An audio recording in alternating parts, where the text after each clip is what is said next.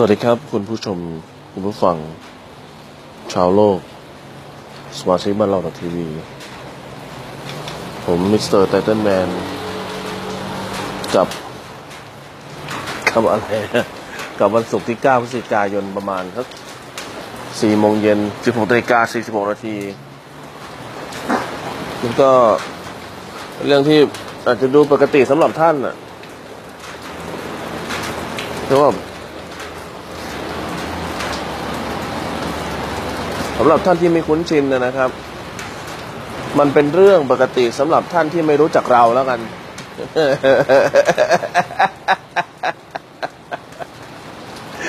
เป็นเรื่องปกติสำหรับท่านที่ไม่รู้จักเรา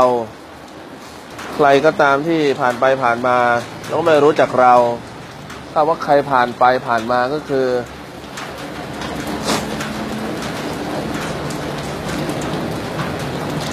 ชาวโลกที่ยังไม่รู้จักบ้านเราดอททีวีนะฮะหรือรู้จักแล้วก็ ยังไม่คุ้นชินกับเราสำหรับท่านที่สำหรับใครก็ตามที่คุ้นชินกับคำว่าเรา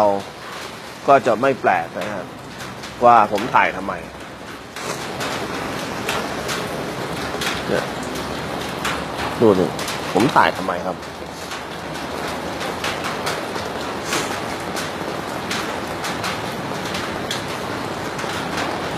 ช่วงนี้หน้าหนาวนะฮะ นอนสบายสบายเมื่อกี้ผมนอนสบาย ไม่สบายตัวก็ต้องนอนนะครับ สบายตัวก็นอนถ้ามีอะไรทำก็ต้องทำ มีอะไรทำก็ไปทำ ไม่มีอะไรทำผมก็นอนเห็นไหม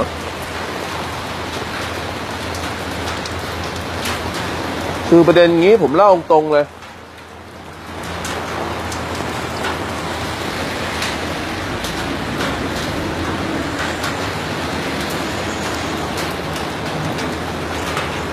วันที่ผมไปทำงานไปติดตามการถ่ายทำของเวลาปกติครับ ผมก็ขับรถปกตินะครับ ขับปกติ ลุงหงอกบอกว่า ก็ไปกับลุงหงอกกันเนอะผมชีวิตนี้ก็ไปกับใครได้ไปไหนทำอะไรก็ต้อง ติดตามไปกับลุงหงอก ประมาณ 95เปอร์เซ็นต์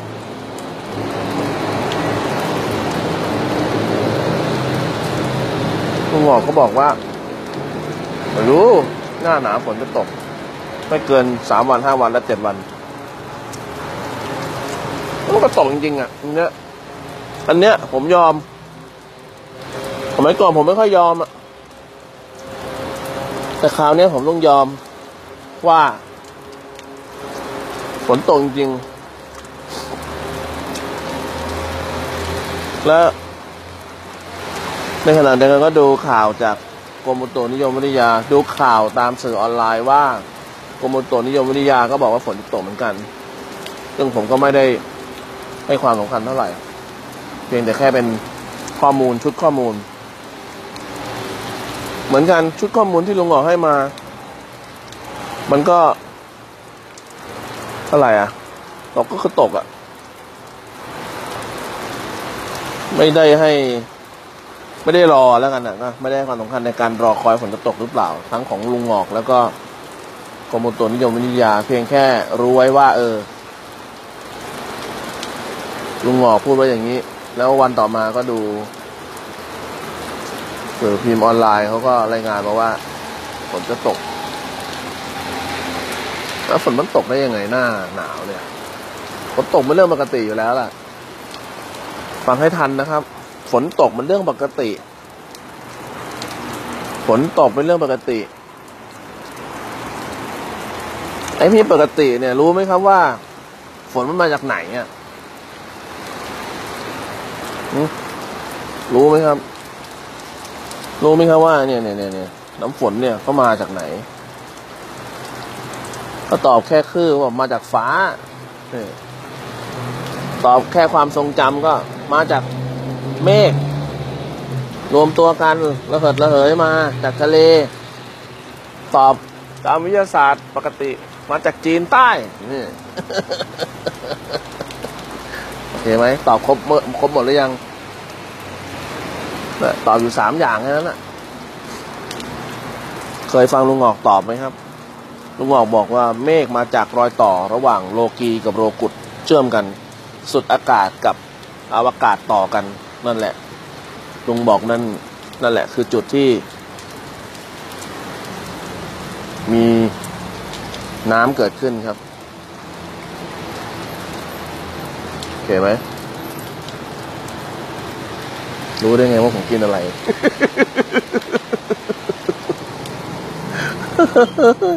เห็นนะฮะ นั่นคือจุดที่ลุงหงอกบอก ซึ่งไม่เหมือนใครนะครับ แล้วก็ไม่มีใครเหมือนด้วย แล้วก็ฝนก็ตกจริงตามที่ลุงหงอกบอก แล้วลุงหงอกก็รู้ว่า น้ำมันมาได้ยังไง แล้วก็รู้ว่าฝนจะตกได้ยังไง กระบวนการนะนะฮะ แล้วก็บอกด้วยว่าฝนมันจะตกหน้าหนาวเนี่ย จบแค่นี้แหละ สวัสดี ดูไปเรื่อยๆแล้วกันครับ ดูไป ดูไปเรื่อยๆแล้วก็เมื่อเช้าช่วงไหนอะลุงหมอกก็ไปคุยกับต้นไม้อย่างเงี้ยคุยกับดินคุยกับ อากาศคุยกับ คุยกับอะไร คุยกับฟ้า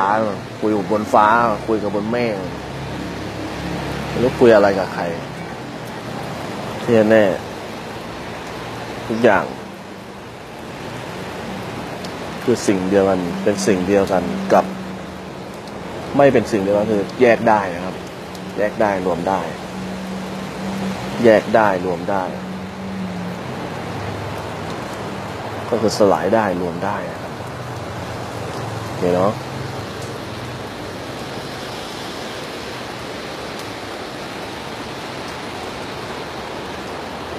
ถามว่าลุงหงอกอยู่ไหนรู้ไหม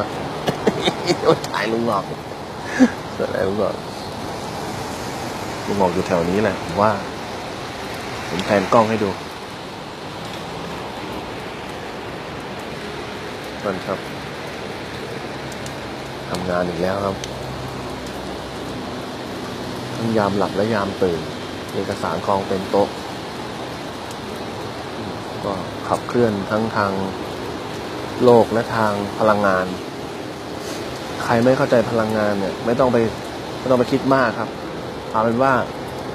มองเห็นอากาศหรือเปล่าเท่านั้นแหละถ้ามองไม่เห็น นั่นแหละ พลังงาน แต่ที่มองเห็นน่ะ คือสสารที่ เป็นลูกหลานพลังงาน พ่อแม่พลังงานก็คือมองไม่เห็น ลูกหลานพลังงานก็คือมองเห็นเอางี้ไหมจบเลยเนาะ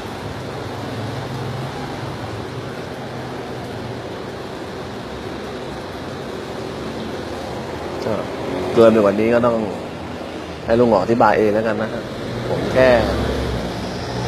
เล่าสู่กันฟังแบบจำได้บ้างจำไม่ได้บ้าง เข้าใจบ้างไม่เข้าใจบ้าง เป็นเรื่องปกติครับ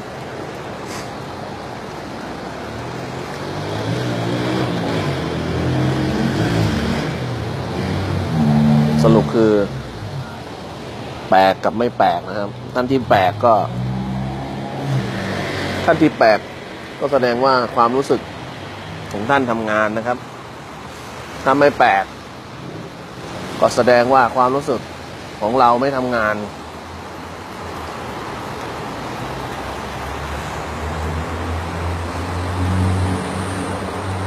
ผมก็ไม่งงหรอกแต่ผมก็แปลกตัวเองว่าผมทำไมต้องมาถ่ายอยู่ตลอดเลย แค่น้ำหล่นลงมาจากข้างบนเนี่ย ไม่รู้แต่แบบว่ามันตึงตาตึงใจผมมากอะ่ะ เนี่ยดูดิเออ วันหนึ่งวันหน้าพอเมื่อผมรู้จริงเข้าสักวันหนึ่งผมก็จะ กลับมานั่งดูเทปเก่าๆที่ผมถ่าย แล้วผมก็แอบถ่ายลงเนี่ย ผมก็จะได้คำตอบว่า เออ ผมก็ได้กลิ่นเราๆเหมือนกันนะ ได้กลิ่นเราๆเหมือนกันนะ กลิ่นของอะไรอะ่ะ กลิ่นของความแปลกไงที่ วันหนึ่งวันนั้นผมสงสัยครับว่ามันมันรู้สึกว่ามันมีความรู้สึกบางอย่างว่ามันแปลกๆไงทีนี้ถ้าท่านใดไม่แปลก หรือใครไม่แปลก ความรู้สึกก็ยังไม่ทำงานอะแค่นั้นเองอะพอความรู้สึกไม่ทำงาน มันก็เป็นไปตาม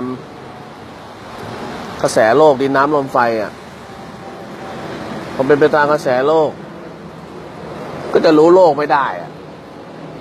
มันเป็นไปตามมาเฟียเข้าใจปะมาเฟียนี่คือโลก โลกนี่คือมาเฟียที่ใหญ่มาก เป็นไปตามโลก หมุนไปตามโลก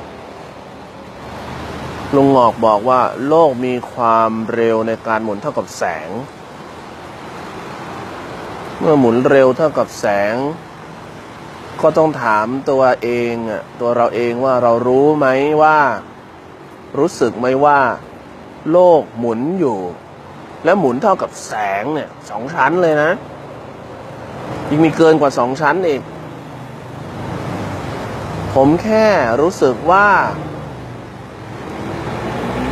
ผมแค่รู้สึกว่ามันมีสุดรูปมันเป็นนามอยู่อะ เอา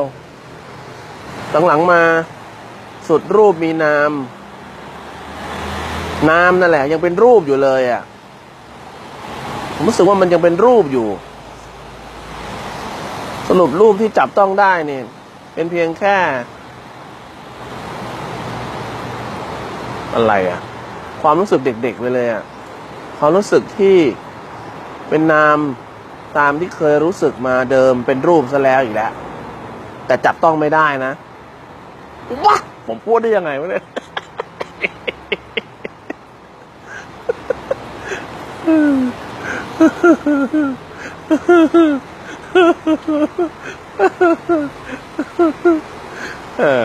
ก็พูดตามที่คิดตามลุงงอกไง คิด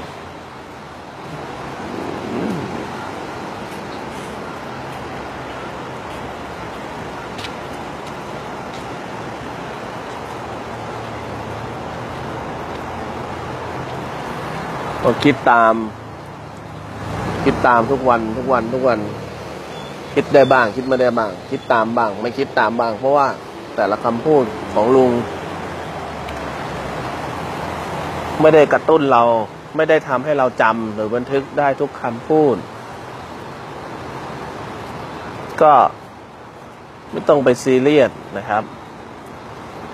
ซีเรียสแปลว่าคือคือรับไม่ได้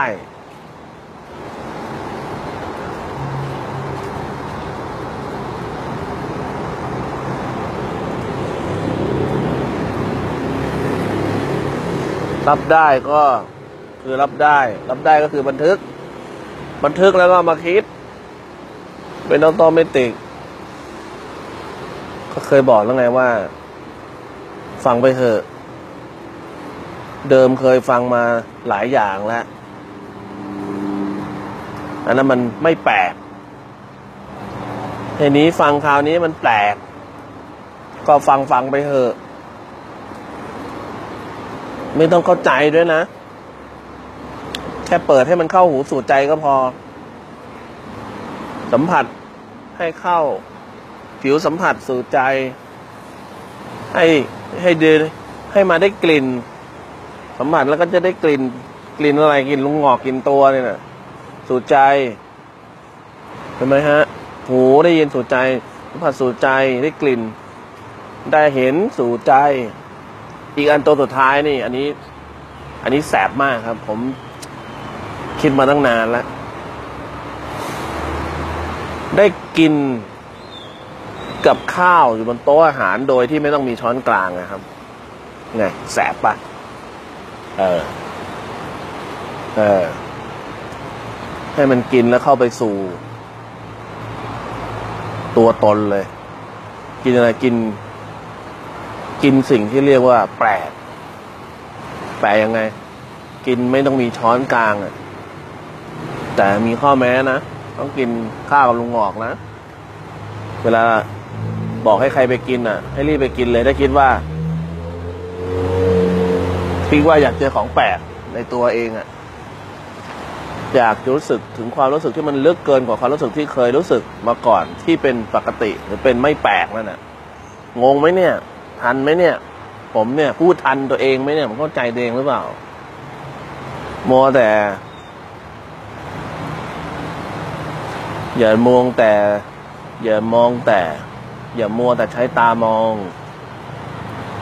เห็นไหมอย่ามัวแต่ใช้หูฟัง อย่ามัวแต่สัมผัสด้วยมือ อย่าสัมผัสด้วยมือมันก็ มันก็ไม่แปลกใช้หูฟัง ก็ไม่แปลกใช้ตาดูก็ไม่แปลกอีกอะนี่ความแปลกมันก็จะไม่เกิดเลยเพราะว่าไปใช้สิ่งเดิมๆอยู่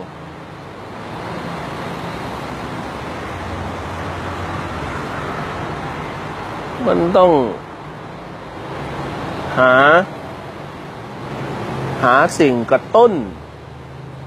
ความแปลกให้มันไม่แปลกให้ได้ เฮ้ย เออ ถูกความไม่แปลกให้มันแปลกให้ได้ เช่น เช่นฟังงอกไง ก็ฟังคนแปลกๆไง ฟังลุงหงอก เพราะลุงหงอกแปลก แปลกเพราะว่า เป็นลุงหงอกไง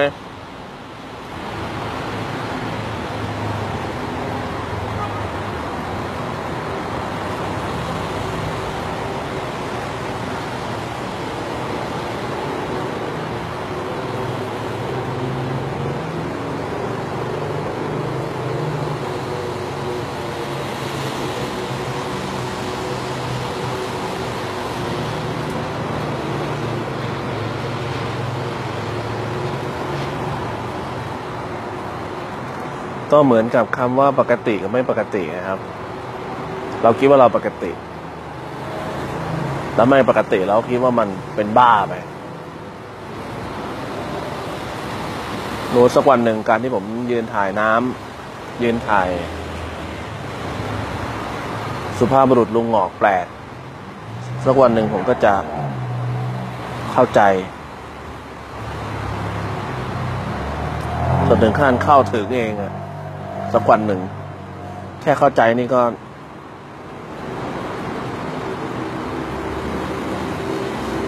สุดสุดสุดแล้ว ถ้าใครเข้าใจนี่ก็สุดสุดแล้วนะครับ เข้าใจว่า มีจุดตัดของแปลกกับไม่แปลกอยู่จริงด้วยเนี่ยก็ปริมาณปริมาณเมฆ หรือปริมาณอะไรก็ตามที่มันขมุกขมัวที่มันเข้มข้นสูงอยู่ในท้องฟ้าเนี่ย มันก็เป็นอย่างนี้มาตั้งแต่เช้าแล้วแล้วเมื่อเช้าผมก็ถ่ายลุงหงอกเดินออกมา เดินเล่นอยู่บนสนามหญ้าของออฟฟิศเราเนี่ย ก็ผมก็เก็บไว้เพื่อยืนยันตัวผมเองด้วย มันเป็นไทม์ไลน์ด้วยว่า วันนี้ฝนตกนะครับ หน้าหนาวฝนตก ก็เชื่อว่าเดี๋ยวก็จะตกอีกไปเรื่อยๆแหละแล้วก็เชื่อว่าเดี๋ยวก็ต้องมีความแปลกเกิดขึ้นอีกนั่นแหละ แล้วก็เชื่อว่า เดี๋ยวความแปลกก็จะนำพาเราให้รู้สึกแปลกๆในตัวเราเองไปเรื่อยๆอีก ค่อยๆเป็นค่อยๆไป แล้วโดยเฉพาะผมไม่ได้ทำเพื่ออะไรอะเวลาของผมมันไม่ใช่เวลาที่ถูกบีบรัดจาก การงานแบบเดิมๆไปยืนอยู่ ผมเคย เลยอะ จะบอกว่าควบคุม ควบคุมการทำงานแล้วกัน ก็บีบรัดบีบอัดมาตั้งนาน ตอนนี้ก็คือตื่นมาถ่าย ได้ยินเสียงฝน เออ ผมตื่นมาผมผมว่าผมได้ยินเสียงฝนเว้ยเออ ผมได้ยินเสียงฝนผมก็เลยเอามาถ่าย เพราะว่าผมหลับอยู่ เนี่ยก็แปลกเห็นปะผมหลับอยู่ ผมก็ต้องไม่ได้ยินเสียงเดยแต่ผมหลับอยู่ผมได้ยินเสียงฝน ผมก็เลยอื่นมาถ่าย จบเนาะอะดูด้วยลุงหงทำอะไรอยู่อีกเห็นไหมหงหงก็เอกขเนงนะครับ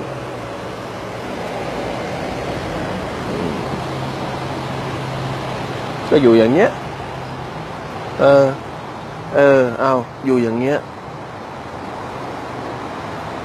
เรารู้จะรู้ไหมว่า อะไรมันเคลื่อนที่เคลื่อนไหวอะ จะรู้ว่าลุงคิดอะไรอยู่ จะรู้ไหมว่า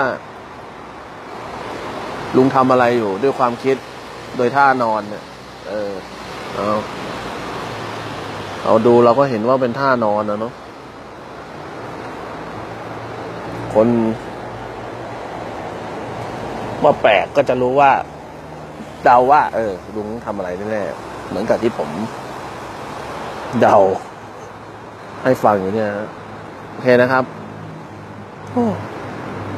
มีความร้อนแบบเขาเรียกร้อนแบบ อบอวนเพราะร้อนอบอวนร้อนชื้นเนี่ยก็จะรู้ทันทีว่าเดี๋ยวฝนก็จะตกอีก เนี่ย เนี่ยเหมือนมดขนของหนีน้ำอะ หรือไส้ไส้เดือนปลิงพวกเนี้ยมันขึ้นบกอะ นึกออกยังครับ นี่เรารู้สึกไหม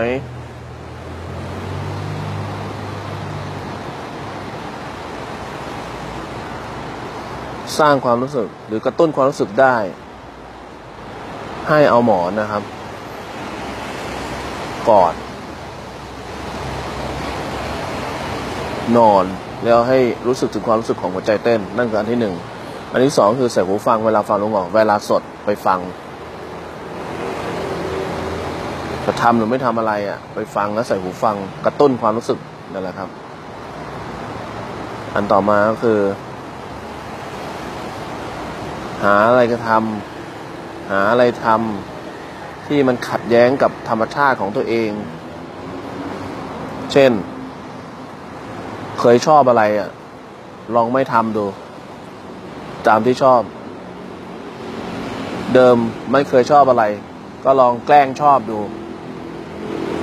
เคยเชื่ออะไรก็ลองแกล้งไม่เชื่อ นี่ลุงหงอกบอกแกล้งเชื่อแกล้งเชื่ออะไรแล้วก็แกล้งไม่เชื่อดู เคยไม่เชื่ออะไรก็ลองแกล้งเชื่อดู เนี่ยกลับไปกลับมาอย่างเงี้ยฮะเดี๋ยวความรู้สึก มันจะเป็นคำตอบเอง สวัสดีครับ